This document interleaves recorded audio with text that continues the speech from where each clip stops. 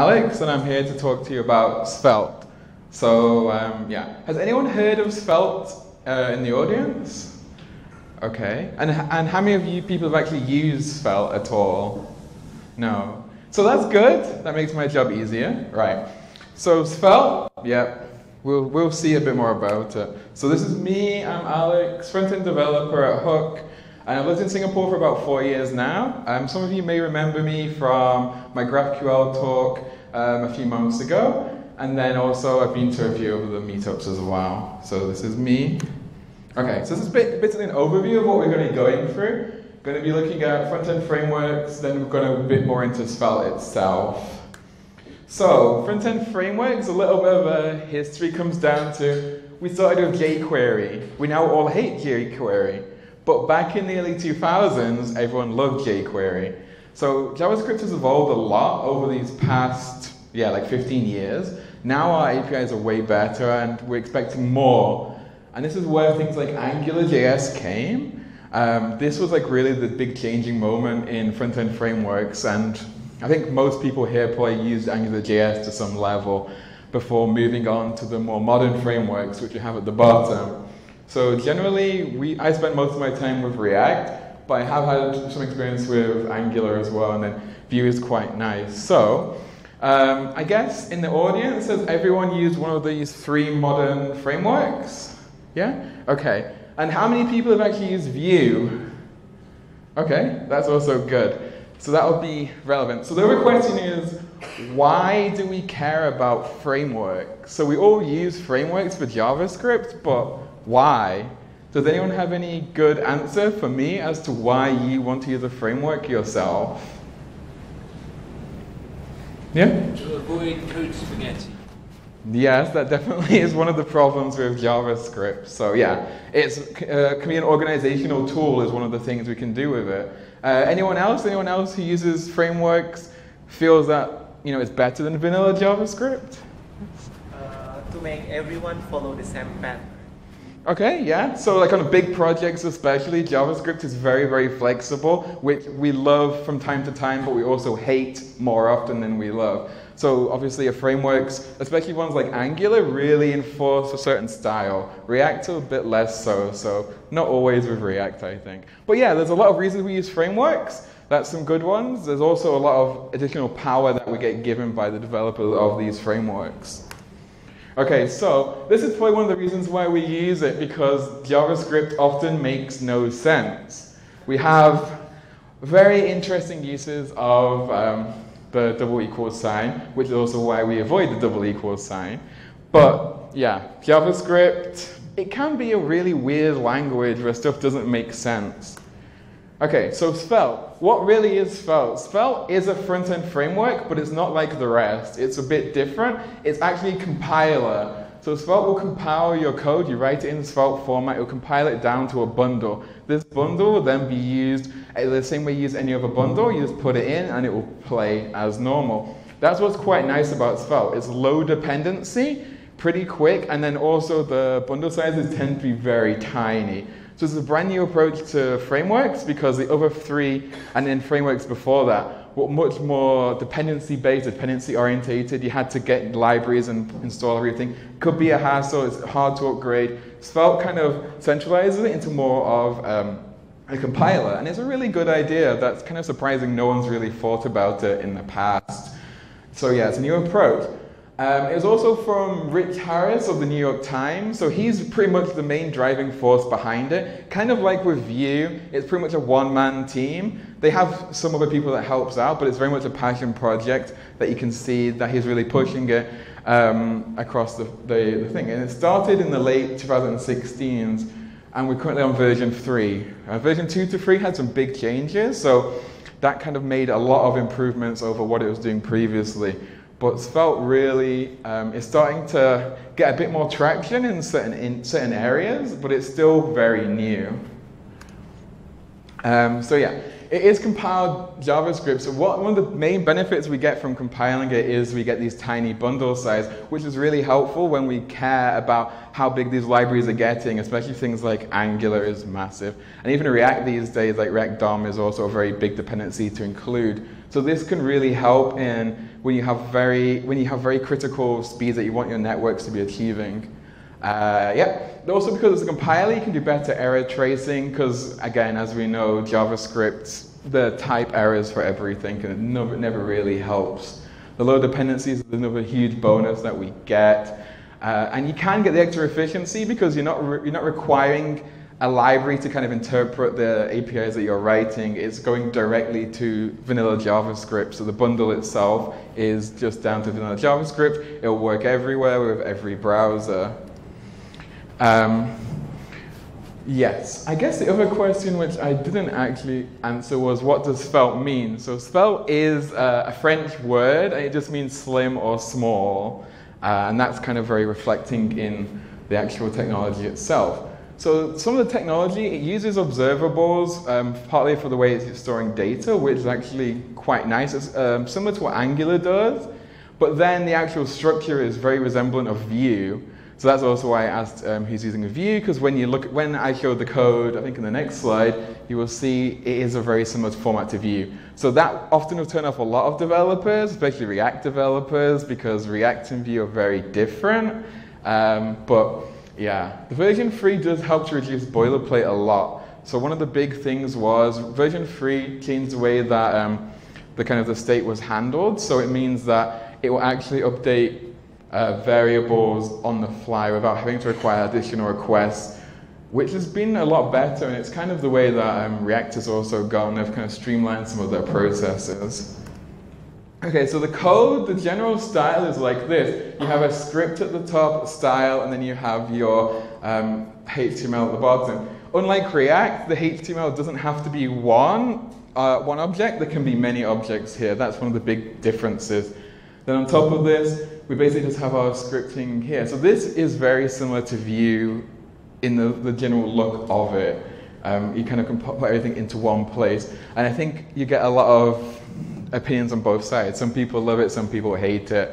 Um, especially probably if you're more used to things like React, it's probably quite a, um, a worry. So yeah, there's a lot of things you can do. Um, this one, you also have the lifecycle hooks. So this is similar to what we have in React in general. So we have the things like the on mount, on destroy. This reacts similar to lifecycle hooks that we get in React. Uh, then we also uh, this one is um, basically use of a store to store data in memory in a similar way to you would use Redux in React, um, using observables instead in this situation. So it's a little bit more, uh, it's less opinionated. So this kind of comes down to the developer themselves and the discipline they have. Then we just have our styling and our HTML text. So a little bit more detailed code where we kind of breaking it down into the script and the um, the HTML. So the HTML does have similar attributes that you get in Vue and in Angular. So you're getting things like you're putting the each over here instead into their own um, declarative ways. And then you have the curly braces to insert the variables that you want. So it kind of mixes it, mixes the languages together, or mixes the frameworks together a little bit, and it produces something that is a little bit different, but at the same time, I think it's quite accessible to anybody who has worked with any of the other frameworks in the past. It provides, usually you can get quite a lot done with not writing too, too much boilerplate as well, which is a nice thing with it. And then just uh, the stylings in general. Uh, okay, so generally, one of the things with Svelte is it's a very, very new technology. It's not really been uh, pick, taken up massively by any one company. You see it in a few small areas. Um, I guess the biggest companies are like New York Times and GoDaddy, which apparently use it in some areas, but it's still not hugely used currently in those. Uh, yeah, the, one of the big things that people like about it is the tiny bundling you can get out of it, which is really nice compared, because that's one of the things oftentimes people complain about with a lot of these other frameworks is the bundles are too big and this really addresses that problem, but it doesn't really cut the corners, which is nice. The, the version 2 to 3 big change is both a good and a bad thing, because I found when I started looking at Svelte when version 3 first came out, it's such a big shift, and there are so many previous packages and previous um, things created for it that it was hard to kind of uh, find the new stuff that would actually work with the new version of it, which is a little bit of a problem. And I think because of this it, and the rapidly evolving part, Svelte can be a little bit of a problem. There's a, a lot of changes happening very fast because it's kind of like one person's passion project. So it kind of progresses along very, very quickly, which I think can be a problem when you want to build a big, robust application in it. It's hard to keep up and hard to keep updating the compiler itself along the way because um, the APIs can change quite a lot still. Uh, then the, the developer base is also very limited, partly because it's still a new thing that you just don't have the community you get with like React or Vue or Angular. It's still growing. It's not growing at the same rate as any of those three, which is can be a problem when you're trying to find help or you want to find information about things you have with it. However, the actual documentation on the website is really good, and the community behind it is actually pretty good as well. Just that even in like a, a lot of the code editors, using uh, .svelte files most of the time, that's usually not so well um, optimized for even like in Visual Studio Code, which I use it in. When you have the plugins for it, it still has some wonky parts to it. It kind of interprets it like TypeScript sometimes for me, which is a bit weird. So I think it's one of those things that's still new, it's still evolving, there's a lot happening there. I think it's a fun thing to play around with, and it's a good thing to kind of get a few small services up and running with. But I think in terms of using it for a big project in a major way, it still has its problems that you'd probably be better off using probably Vue would be one of the closer ones to it at this stage. So yeah, um, it's interesting. I would also advise people to also like play around with it. The website is pretty good. It has some interactive tutorials that work quite well. Um, but yeah, there's still a long way to go, I think, before it's really a viable big uh, viably used in big projects. Okay, so uh, how about any questions about Svelte? Uh, yes? So Mhm. compiles from language. Mhm. The language where it compiles from? Oh, so basically you're writing, I mean, it's a version of JavaScript in general. So it's um, the Svelte uh, API itself, where it gives you yeah, a few shortcuts and like uh, kind of similar to what we see in the code, it has um, the different uh, APIs that it has with it, and it is just a variant on JavaScript. But instead of kind of like with most libraries, they will kind of keep it in so it'll be interpreted when the browser is using it. This one, it kind of bundles it all up previously. It takes out all these dependencies and it fills them in with the equivalent on the vanilla JavaScript. So it's trying to make the, the lower level a little bit more accessible as well. So you are basically just writing JavaScript, but it has the Svelte APIs in there and the hooks in there that allow you to op- operate like a normal framework, but pulling them out before compiled, uh, pulling them out before it's actually put into the browser, which then improves uh, bundling and size and efficiency as well. So yeah, it's just JavaScript really at the end of the day, but it's a slightly different way of doing it. Okay, uh, anyone else? Yeah? Uh, you mentioned like no dependencies. Uh, if you want to make a, a simple hello world, can you just do it with a single file plus the svelte file? Yeah, yeah. So um, Backend to JSON and all that others. no, you don't need any of this type of thing to get it to get it going. Obviously, like when you get like bigger projects, you will have other dependencies. But in terms of Svelte itself, you can get a very simple, just like the Svelte file. You can run it through the compiler itself. It will give you the bundle file at the end of it, and then that will be all that requires. And then, like I say, the bundling size that they give you is always very good. So even for like larger applications, it will compile down to actually pretty small. Um, a pretty small file itself. So the actual efficiency is really nice, and that's been one of the big kind of driving forces behind it. One of the big things that people take away from Svelte in general is like the bundling, because I know bundling, especially with Angular, has been like a big kind of uh, big issue where people are always like wanting it smaller and smaller. Google is trying to make it smaller, but there's still limits and there's a lot of optimization. So this is kind of like a novel way of addressing that problem, taking it from the other direction, which works pretty well actually for size. Uh, yeah. So um, compiling it uh, rather than um, having it execute as a framework in runtime is, is, is an interesting flip. Hmm. Have, have the other frameworks taken notice and have they sort of investigated whether it's possible to keep their existing syntax but uh, you know generate a compile time version of their framework uh, instead? Has there been that Hmm. shift? Not that I'm aware of at the moment. I mean, it. Uh, I mean, if they are looking into it, I guess it's not been something that's been made openly. Uh, I'm not sure how much work it would require for any of the other free frameworks to kind of flip it. It's an interesting idea. I think it can work with them as well, but it would probably require quite a lot of changes in the way that they, they kind of they currently build their their products. So I guess it's one of the things they might just be like a waiting and see. Like they'll see how this catches on. They'll see the community that goes behind it. If it becomes like a really big thing and like the next big thing, then I'm sure they'll invest their time into doing it as well. At the moment, I think it's still quite early in the life cycle for it. That it doesn't actually uh, really eat into like their market at the moment. But I think in the, f- I wouldn't be surprised if they were looking into more of this solution. I'd be interested to see if there's even more companies moving this direction where they're using it more like compiled JavaScript because then you're getting rid of dependencies on things like Babel or TypeScript. You can kind of just really, uh, you can write it in any language you want at the end of the day. So yeah, um, yeah.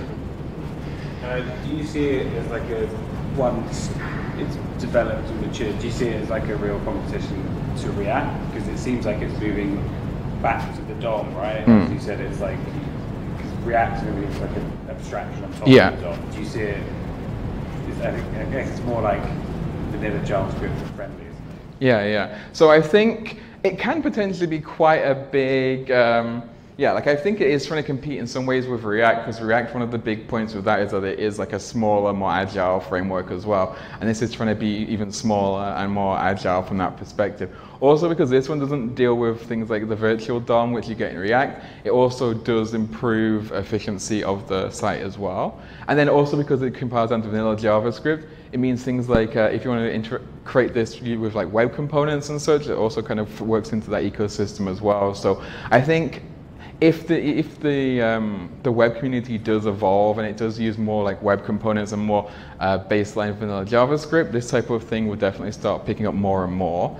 I think it's one of the things where a lot of these ideas like web components are still a little bit new and um, yeah, I think it could be real competition for them, but at the same time, because these companies are also massive, like I'm sure there would be like a React compiler if it really did compete in that kind of way before too long. So I think so. But I mean, like with all these things, when you have like a small develop, as, as like a small single developer more or less, they tend to move pretty quickly. They tend to get good results. I mean, you look at Vue. Vue has progressed and matured pretty well uh, over a pretty short period as well. So. I think there's definitely a lot of potential behind it. Uh, okay, any more questions?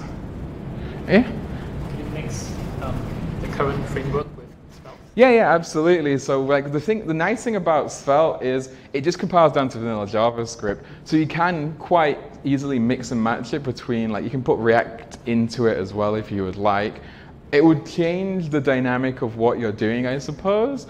Uh, but there's no reason why you can't mix and match them. It just means the bundling might be a little bit different, and it, it it's fine from that perspective because you can uh, also do like the plug and play kind of like if you're gonna do it like more like a web component or so, it's easy to plug in as well. So yeah, there's nothing stopping you mixing and matching it. It just might have a bit of overlap that doesn't make it necessary as well. I think would be the hope. Uh, any other question? Yeah. Can you uh, split it up into components? Yeah, so it is a component-based framework as well, similar to Give an example. uh, of components. I guess I why is that there? So from a component standpoint, uh, where is it? Oh, it's right at the end. So from a component standpoint, uh, this is not the right one. This is TypeScript. Uh, da, da, da, da, da. There's no wrong one. Right. So yeah, it does do components. This one. And where are we at? So yeah, so I basically have the like the root type thing. So here I have the different components, that I kind of that I group together. And then from here, for example, what's the smaller one? The input, I think. This one, it then has the separate component structure as well. And it kind of is similar to Vue as well, that it, uh, the styling is very localized to this file. So on the, the base level, you can break them up into the components that you want, can arrange them any, any way that you want as well. And then internally, it's just writing the parts, breaking the components down into smaller things where possible, also using different handlers and such. So, yeah, it does operate very similar to all the other modern frameworks. They are very component driven, which does help because then it's the same um, same style you've been using the whole time as well. Okay. Uh, any other questions? No? Are we okay? Okay. Sure. No problem.